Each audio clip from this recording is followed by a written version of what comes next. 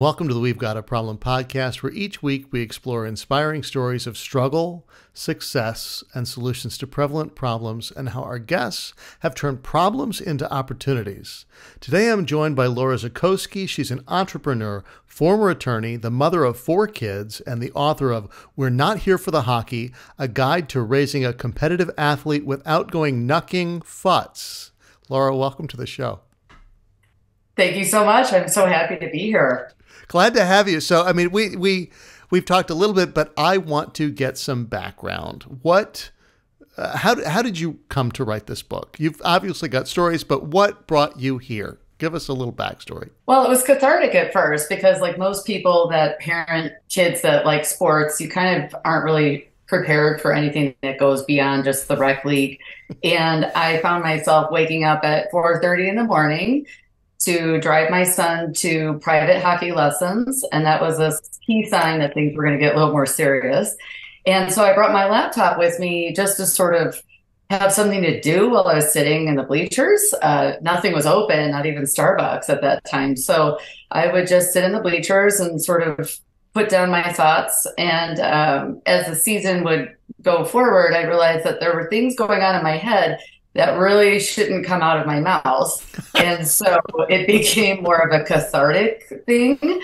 And as you meet people and you travel and you go to different tournaments and you see all the characters and shenanigans that goes on, uh, you start to put some things down that maybe would be good for a book. And I think that's what happened. I was in this little writing group of women, and everyone said, you know, they had a story to tell. And I truly believe anyone can write a book. Everyone's got stories, but you just have to do it. And for, I kept saying, I could just write a book about that. And I for, did. For, for sure. For sure. I mean, that's, and that's what, what I tell everybody. And I work in the film business. That's my day job. So anybody who comes in and goes, Hey, I've got a story. Will you guys write it? Or will you do this? You go, you are the best person to tell your story. Anybody can right. do it. And they go, no, I can't. I'm not a, I'm not a writer. You go, the way you're talking to me right now tells me that you can spin a phrase as good as anybody else. Maybe not as well as Mark Twain, but as good as most people out there. You can do this. You've got it. You're, you're, you're able to do it. Now, you decided to write this book you'd been writing. Okay, so this had been going on for some some time. You'd you'd kind of to started to formulate this. But what led you to the lowly stage of being at private hockey lessons? How did you get there? Why?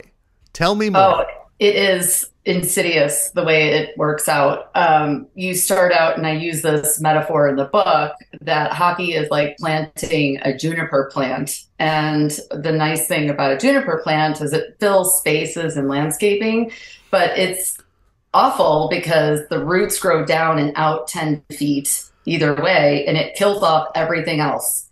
And next thing you know, something that sounded like a good idea to just fill some time in the summer, get the kid outside. Okay, it's hot. Let's go indoors The hockey. One thing leads to another, and you start to notice that the kid becomes obsessed. And once that obsession hits, meaning with the sport, you're just patting yourself on the back that, hey, they're not sitting on their phones or playing video games. They're actually physically active. So it's, you know, it kind of has this self, um, I don't know, type of congratulatory period. Yeah. And then in order to go to the next level, the kid wants to play with kids that are just as obsessed as he or she is. And next thing you know, you're springing for private lessons and waking up at ungodly hours, dark 30, I called it. You know, you're home before anyone else in the house has woken up yet. Right. That's how early it is. Right, right. It's that it's so early that you've gone out and done something before they've even gotten out of bed. You're ready for dinner by noon. Yes, yes. Okay. so so obviously this that's a little bit of a trial tribulation, uh, a little bit of a trying time when those things are happening, right? You want to be supportive. You want to be right. great. I'm I'm I'm there for you. I'm glad you've got a passion. I want to nourish your passion, but at the same time, there is some balance there of what do you do for your kids and how far do you go and how much money do you spend? Mm-hmm. Because I can imagine, and and I, I don't know whether whether your other three kids were as involved in in competitive athletics or whether you've been just glutton for punishment. You you you didn't nip that in the bud with the other three, but. Uh, what I'm wondering is, how do you go through the process of even paying for all this stuff? Yeah, so okay, you, you, you want to do it, but what? I mean, this this is we're talking serious expense here. Yes, uh, hockey, like many competitive slash travel sports, uh, really is kind of betting the family farm. And it's not so much that you don't want to do it, it's just you have to be a little resourceful and creative. And I did a little case study by joining a hockey mom Facebook group, and I actually posed that question. People were selling their plasma. People were had executive jobs where they were paid well in their positions and then staying late to clean the office building for the extra cash.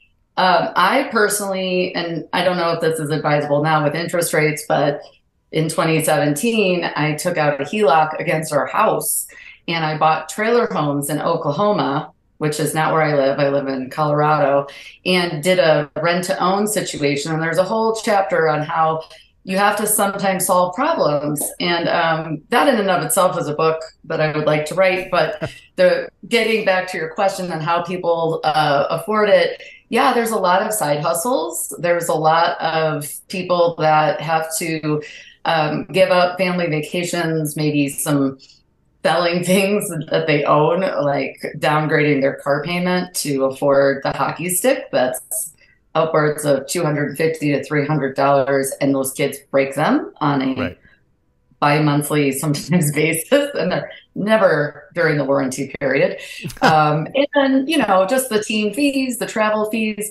Um, yeah if you look at it it's the equivalent of one year of um, college tuition sometimes. Okay. Yeah no no thanks.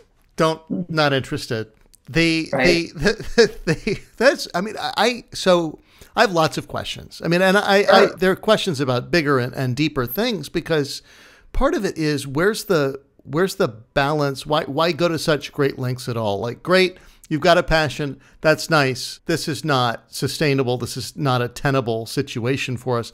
How much are we going to support you in this? Yes, I, I, give you my emotional and my mental support, and I will drive you to to places. But as far as paying these kinds of fees, doing doing these kinds of things, when it becomes a year of college tuition, that level mm-hmm. stuff, you start to, I'm sure, right, start to ask yourself these questions like, okay, sure. I, I, I, how much am I bending over backwards for something that realistically, statistically, they have a low probability of finding the success that would make this this worthwhile, right? I, I, I they're not, they're not going to become I don't know pick pick pick a well known hockey player Wayne Gretzky or whatever. They're not going to be that level. Chances are, just just statistically. Right. But of course, you don't want to. You certainly don't want to turn away from those things and and and possibly have the next great hockey star uh, not get the encouragement and the nourishment and, and, and all that stuff. Right. But I, I, this is the where the balance oh, comes in. You, you are so, you're you are speaking as much uh, clear-headed, logic, um, smart. Those are all comments that are fair. Um, in fact, those were the exact sentiments expressed by the YMCA Rec League that we left to go to the next level. Um, many of the parents were exactly saying those things. Um, but I think something happens, and I don't know where your judgment gets clouded as a parent. Uh, but I think it's a combination of just seeing someone that is acting on something that maybe you perhaps never did pursue your dreams. And I don't know if it's a reflection of your own psyche, like, go for it, kid, you got it, versus um, you just get swept up in yeah. in the the drug that you're you're sort of taking unwittingly that your kid might actually have a chance and right. it's not so much the pros it's just sometimes getting into college and then you start making justifications like well i spent the money now but then later he'll go for free because he'll have a college scholarship right there's that that that push and pull with with right. how much you you you push and i like you say trying to rectify an injustice or or or some missed opportunity in in your past as a parent going i i should have whatever learned an instrument or or been more uh, focused on sports or academics or whatever the, the, the thing was when, that, that, that we try and, and help our kids to, to not make the same mistakes that we did, let's say. There's a lot of craziness in this and and you've written a book about kind of how to keep your sanity. What is the secret to keeping your sanity through through all these things? Tell me everything. What it i mean people are going to have to buy the book obviously but right. I mean there's there's there's chock full of of humorous stories. I have this pipe dream that tina fey would play me in a movie version of this book uh, maybe Steve Carell would be one of the crazy parents who coincidentally played hockey in his youth. But I would suggest that there's more to it than just the finances and the risks and the crazy making that happens in the parent brain. Um, honestly, seeing the kids that my son played with, some are still living the dream. Some some still have the NHL in their funnel mm-hmm. of can see the light. It's a possibility. Others are going to college. Others are still playing juniors. Those that have stepped back and have gone to college are equipped for college. They are uh, very good at managing their time because they had to manage a sport that was 30 plus hours a week demanding while they were in high school. they also have the ability to uh, keep up their nutrition and their fitness yeah. Uh, they're sound headed. They just make good decisions in general. I mean, there is a lot of humor around hockey players. They are sometimes one step above dogs. So I don't want to give them too much credit, but I do think that they have um, really good way of sort of knowing what it takes to be to have perseverance and grit. So yeah. as people, I think that they actually end up being really uh, the next group of leaders. They don't look at things. They don't. They don't get hurt very easily. Um, well, they've been through it. they, they, they've been through it. They've they've done that already. They've they've yeah. I, they uh, yes. you know mentally, emotionally, physically, they have been through the gauntlet. Hell. When yes. right when when it when it comes to a lot of these things. So yeah. Yeah, I can absolutely see that, and and of course the title of the book is "We're Not Here for the Hockey." Here for the so, hockey. No, you're the parent is the one that's falling apart. Honestly, the kids are fine. I mean, yeah, they have those days where their heads are hung low, they look like they're ready to quit, and then they get up in the morning and they go back to the ice and they hit it again. And when their time is up, they know that. They don't need us to tell them that. Maybe we're sounding boards, but really my whole purpose, or I guess offering for this book, like why a parent would need to read it, is more for just the camaraderie of it. Is that, yeah, you're going to go through a lot, whether that's selling your plasma, flipping trailer homes, creating a business on the side to help pay for things. Yeah, those are sacrifices. But there's also this commiseration that you need, I think, as a parent. And my whole stick, I guess, is the humor. If you can't laugh at it and you can't look at just the ridiculousness of this is a business at right. the end of the day, yeah. business. And you cannot, you know, get sucked up in the, you know, watching uh, Rudy or Seabiscuit and go, yeah, I feel good about it now because you'll get crushed if you if you think that it's all just sunshine and butterflies. But right. honestly, it it runs its course. I couldn't say to anyone, "Don't do it." Um, I don't have any regrets other than just maybe uh, shutting the pie hole sometimes because sometimes you know I have an Italian background. I have a hard time, you know, holding back. Um, but I do uh, notice that that does have a lot to do with. There's some practical tips in the book that say like, hey, don't be what they call that parent. Well, that's who, uh, and that's one of my questions. Yeah. How do you not be that parent? What's what? How? What are the practical tips? Give us just a few. Give us a taste. How do you? How okay. can you not be that one that everybody makes fun of? Looking at the oh, yeah. whatever the sports podcasters and all that. Uh, tell me more. Oh, the memes are endless, and and there's always someone that just gives everyone a bad name. But honestly, I think one of the most challenging times is when, let's say, a, a kid gets cut uh, from mm-hmm. a team that you're on, and maybe your kid was the one that replaced them. Okay, and um, that can be challenging because you'll hear that parent um, go through a emotional just download of what's unfair and unjust, or perhaps political, or you know, sadistic, or whatever it is that they believe happened.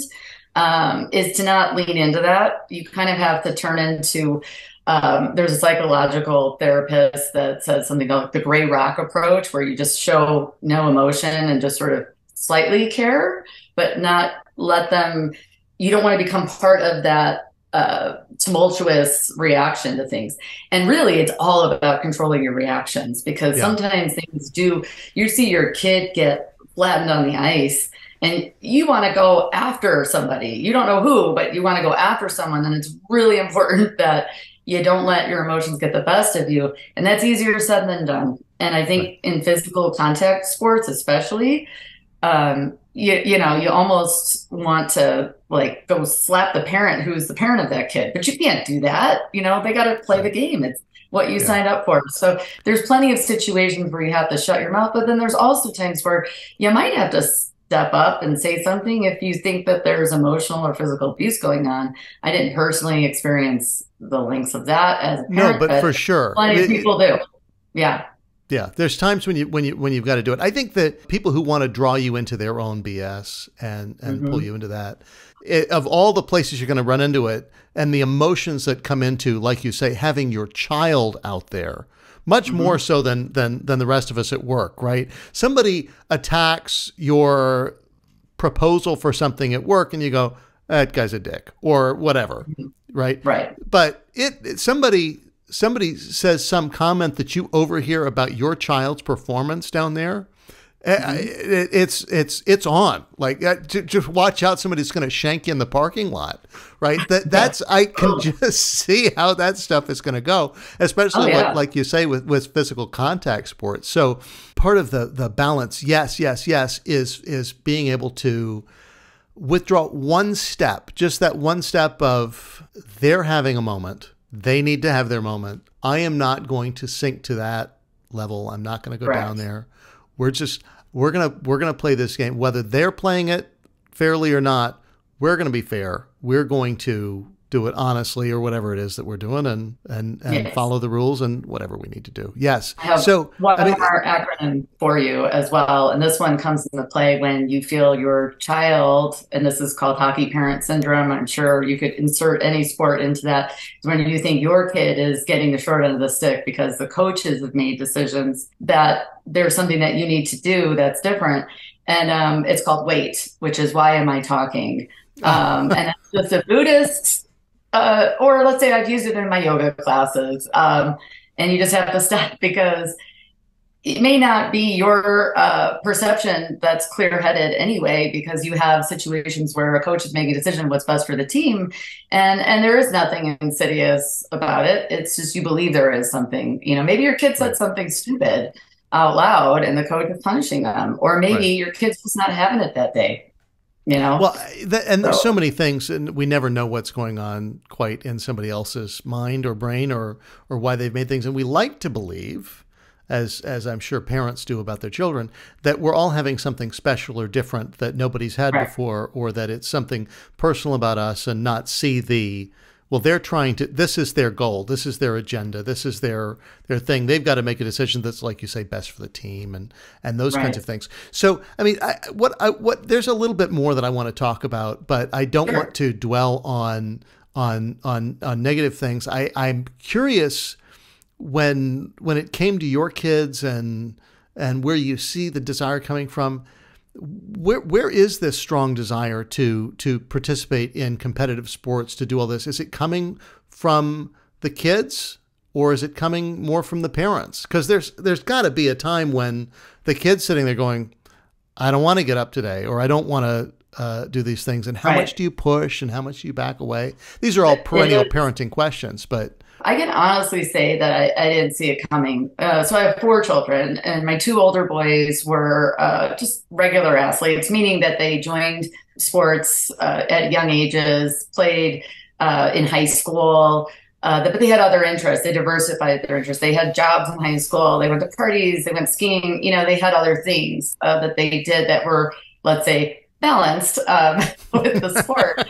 and um, right. and I loved it because I could skip a game. And then it was kid number three that I never had to wake up or tell him what to do. He did it for himself, and there was very little uh, pushing. I mean, there were times where uh, it was more of a struggle to get him to eat the right foods uh, mm-hmm. for the energy that he needed to sustain the weight because it is so physically taxing.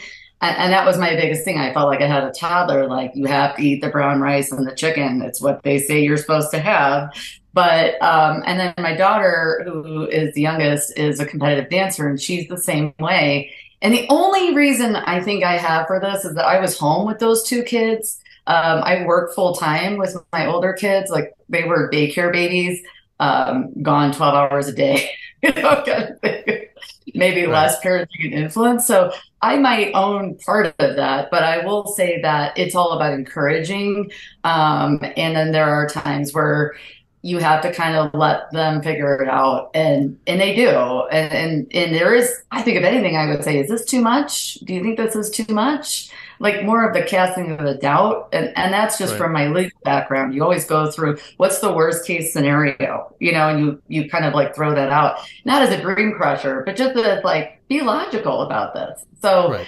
um, that's my personal experience but i have seen plenty of hovering fathers and, and, and crazy moms that are definitely pushing those kids. And in some cases, it does work out. Uh, they do go on to college or whatever. But in others, there's some resentment there that I think is actually probably bad in the yeah. long run. Yeah, you know? I think that well that's and of course when when it comes to any of these things, when when it's so much driven by the parent and less by mm-hmm. the child, right. I think the the possibility is or the probability is that the kid will one end up resenting the parent a little bit. Two yes. will will be helpless once that push is not there anymore. Correct. Once that mm-hmm. external push is gone, when they get to college and there's nobody saying, you, you got to study or you got to do this or you got to do that, you got to, you know, chop, chop, let's go. That, right. that, that, that actually does them a disservice as far as leading functional and happy lives later. But you know, back in the day, I mean, long ago, a hundred years ago, parents barely knew what their kids were doing. Their kids were out playing; they were doing whatever they they went off, and they were just kind of independent things. And and and the right. parent was there, like, no, you know, go do your stuff, and and and here's your here's your your stuff. And if you figure it out and you get in trouble, then we're going to have a conversation. But otherwise, just you know, go off, do your thing. Come on. Oh, I, I talk about the Gen X because I'm 1970 you know, Gen X baby. And yes, how we didn't have cell phones. We would wait for sometimes 30 minutes to an hour for a friend or a person to pick you up. And it was just sort of accepted practice. Now it's like you can track your kids' whereabouts, you know exactly what's going on. There's this, you know, fear all the time of where are they? What are they doing? Who are they playing with? Or who are they hanging out with? But I guess the nice thing about sports is that it does keep them off their phones more than maybe the average kid. And I truly think that the physical and emotional and social um, well-being is attributed. And we lived through the pandemic with right. with hockey, and and while everyone else was locked down, these kids still played, and it was careless. And at the same time, it was probably the best thing that could have happened because those kids did not experience that loneliness and disconnectedness and and all of that. Um, and half the parents were like this is wrong. And the other half were like let them play you know like this is all they got. So there is some you know strange behaviors that happen in the mm-hmm. years 2020 to 2022 um, that maybe aren't typical that our stories might be a little different but i guess the whole point of of the book and, and just sort of a commentary on what we're talking about is that we do have to do the best we can as parents and and put some guardrails up and, and find the humor and the ridiculousness of it. And it's okay to, and I know this is going to sound wrong, but it's okay to not be happy when the team loses if your kid didn't play, you know, things that we don't like to articulate out loud because you sound like a jerk but I put it in the book anyway so that people can say, you know what, this is a little silly, you know, and, right. and it all works out. The kids lead. If you let the kid lead, they generally speaking make the right decision for them. Um, but I just like to throw in a lot of, you know, funny stories and things that um, pad it for the parent that might not see the end of the tunnel. Yeah. You know. For sure, for sure. So we're kind of coming to the end, but I have questions I like to ask everybody. And the first of which is what is the biggest fallacy you feel like everybody buys into, but that turns out to be total BS in the end? Now, this can be broad as far as the whole world, or it can be specific to your individual subject. What do you think is way overrated? Whew. I would say that the dream uh, is feasible and stay on the sunny side of life because you will get a lot of people that tell you otherwise. They will be the naysayers that say um, you're never going to make it, or everyone goes to the beer league, or whatever. And that can be the worst thing that can happen when you're in the throes of it. That it is possible, and it and defining success is something different for everyone. So I think the fallacy is that we put this big summit of the mountain is only if you make it is it worth it? And right. the answer is you can learn a lot from the kids that are on their way down. And right. and that is the sunny side optimistic.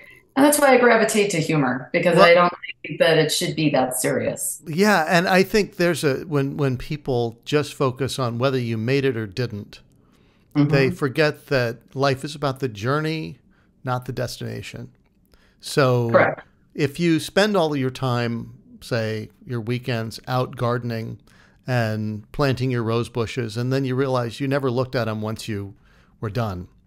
Was that a waste of time? You go, no, actually, I, I, I really enjoyed the gardening process. I loved planting the seeds, or, you know, you don't plant rose bush seeds, but whatever. Yeah, I, I, but I enjoyed. I the Right, I, I enjoyed the process. It's about the process. I'm enjoying what I'm doing. They're enjoying what they're doing, and and hopefully you're enjoying it as a parent too. So on the other Correct. side of that, what do you think is the most underrated concept that people overlook? What are we all missing? Uh, the friendships and the relationships that are the result of all of those days spent together. And an example of this is I just went on a little getaway to a cabin with a bunch of hockey moms this weekend. Well, there you go. I mean, it's like I think yeah. the, the, the the community and finding community. Mm-hmm. whatever it is, uh, kinship, fellowship, brotherhood, sisterhood in the other people who are going through the same thing you are is the right. way that that communities form and lifelong, lasting friendships. Don't turn yeah. your absolutely do not turn away from those things. Nourish those those kinds of relationships. Find them, seek them out. Laura, thank you yeah. so much for joining me, folks. If you thank want to you. know more about Laura, check out her website, buy her book. We're not here for the hockey. Available on Amazon, Barnes and Noble, and Goodreads. And follow her on Facebook and Instagram. Links to everything are in the show notes as always. And until next time, I'm Andrew Wallace, and we don't have a problem. We've got an opportunity.